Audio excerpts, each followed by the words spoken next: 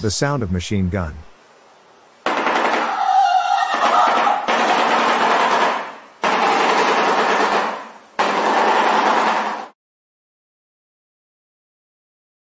Shoebills, also known as the whale-headed stork, are large, prehistoric-looking birds native to Africa. While they are not typically aggressive towards humans, they are known for making a deep, booming sound that can be quite intimidating. The shoebill's call is a low, guttural hoo-hoo or oomph-oomph sound that can be heard from a distance. When heard up close, the sound is incredibly deep and resonant, and can be quite startling. The sound is produced by the shoebill's large, powerful bill, which it uses to catch fish and other prey. The bill is so strong that it can easily crush the bones of its prey, and is thought to be one of the reasons why the shoebill is such an effective hunter. Overall, while the shoebill's call may be intimidating, it is simply a natural part of the bird's behavior and is not meant to be threatening to humans.